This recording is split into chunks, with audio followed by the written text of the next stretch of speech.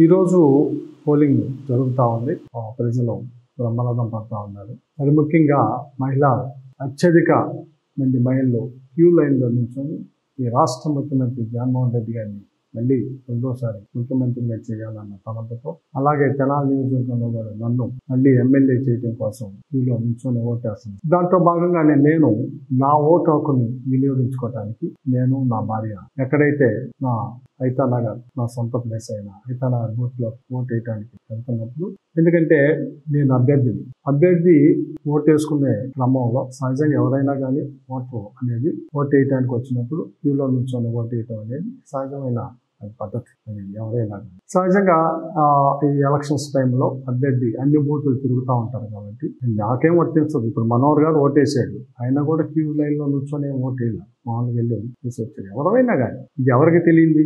MLA అభ్యర్థిగా ఉన్నాళ్ళు ఎందుకంటే అన్ని బూతులు తిరుగుతూ ఉంటారు కాబట్టి అన్ని బూతులు తిరగాలి కాబట్టి అక్కడ పోలింగ్ స్టేషన్స్ ప్రశాంత వాతావరణాన్ని క్రియేట్ చేయడం కోసం అక్కడ ప్రశాంత వాతావరణం ఉందా లేదా?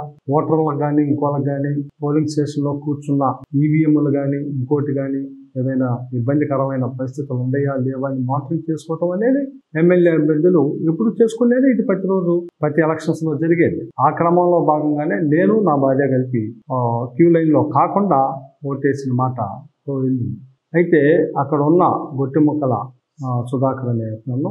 ఇతను సుమారు ఒక పది రోజుల నుంచి ఇతను ఇక్కడ కాదు ఐతానగరే కాకపోతే ఐతానగర్లో ఉండడు సాఫ్ట్వేర్ ఎంప్లాయ్.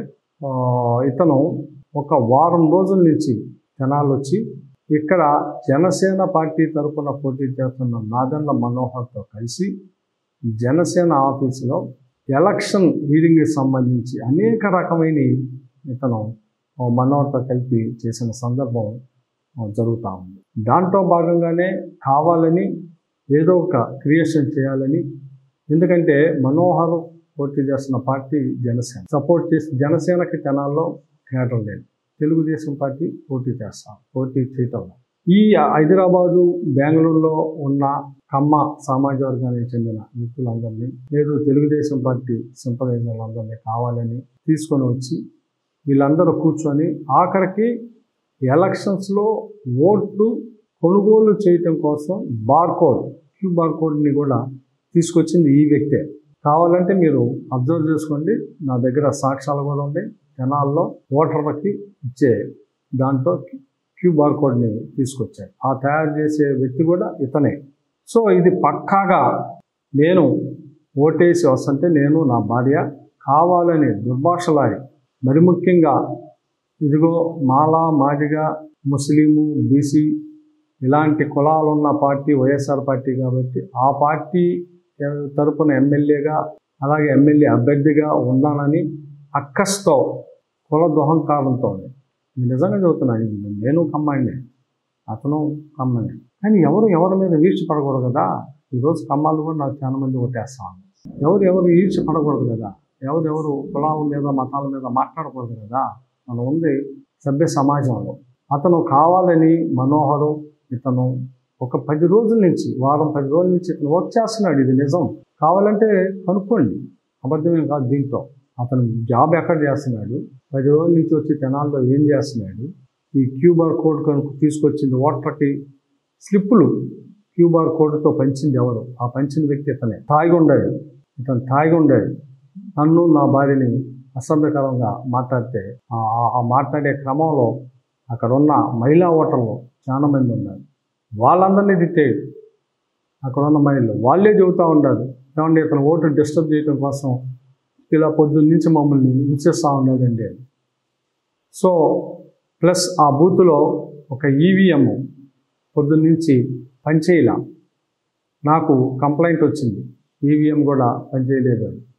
సో ఈ మానిటరింగ్ చేసి వచ్చి ఓటేసి బయటకు వస్తుంటే ఈ రకమైన దుర్భాషలాడి దీన్ని కావాలని తెలుగుదేశం పార్టీ జనసేన పార్టీ దీన్ని ఏదో వైఎస్ఆర్ పార్టీ ఇది చేయడం నా మీద దౌర్జన్యం చేయటమే కాకుండా నన్ను బూతులు జరపడమే కాకుండా నా భార్యని బూతులు జరపడమే కాకుండా మరి ముఖ్యంగా వైఎస్ఆర్ పార్టీని మరి ముఖ్యంగా కులాల పేరు పెట్టి బూతులు జరపడమే కాకుండా ఇంత దౌర్భాగ్యమైన ప్రవర్తనని మళ్ళీ దీన్ని కావాలని తెలుగుదేశం పార్టీ సోషల్ మీడియాలో లేకపోతే ఇంకో దాంట్లో వైరల్ చేయటం నన్ను కొడటం మళ్ళీ దాన్ని వైరల్ చేసి నియోజకవర్గ ఓటర్లని ఆ ఓటర్లందరికీ ఈ వీడియోని పంపి దీనికి యాంటీగా చేయాలని ఒక పెద్ద కుట్రని దీంతో దాగి ఉంది.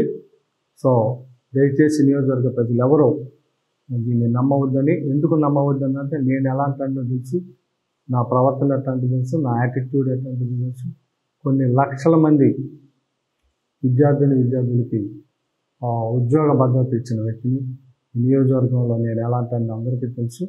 సో ఈ వీడియోని రకరకాలుగా వైరల్ చేస్తా ఆ వైరల్ ఆ, న్యూస్ని దయచేసి ఇది ఫేక్గా గమనించమని నియోజకవర్గ ప్రజలందరినీ కోరుతాం అట్లా గుంటూరు జిల్లాలో మీ తెనాలిలో మీ ఎమ్మెల్యే అరాచకం. మీ ఎమ్మెల్యే ఓటర్ ఎవరైతే ఐఐటి మరి చదువు ఐఐటి కాలేజీలో చదువుకొని సాఫ్ట్వేర్లో ఉద్యోగం చేస్తా ఉన్న ఒక ఓటర్ మహాశయుడు క్యూ లైన్లో రమ్మని అడిగినందుకు మీ ఎమ్మెల్యే చేసిన మరి చెంపదెబ్బ ఇవాళ మీ మీ ఎమ్మెల్యే తగిలిన చెంపదెబ్బ ఇవాళ వైసీపీ ప్రభుత్వ అరాచకానికి తగిలిన దెబ్బది. వైసీపీ దుర్మార్గాలకు జరిగిన చెంపదెబ్బది తాడేపల్లి కుట్రల కుతంత్రాల మీద జరిగిన చెంపదెబ్బది మీ అరాచకాల మీద ఇవాళ ఒక ఓటర్ మహాశయుడు ఇచ్చిన తీర్పు ఇచ్చిన ఆ చెంపదెబ్బే మీ ప్రభుత్వ పతనానికి పరాకాష్ట అని చెప్పి తెలియజేస్తా ఉన్నాను. అట్లాగే చిత్తూరు జిల్లా గుడిపాల మండలంలో అక్కడ కూడా మీ ఏజెంట్లు మరి అక్కడ కత్తి కత్తిపోట్లతో మా వాళ్ళ మీద మరి దాడి చేసింది కూడా ఈరోజు మీడియాలో వచ్చింది.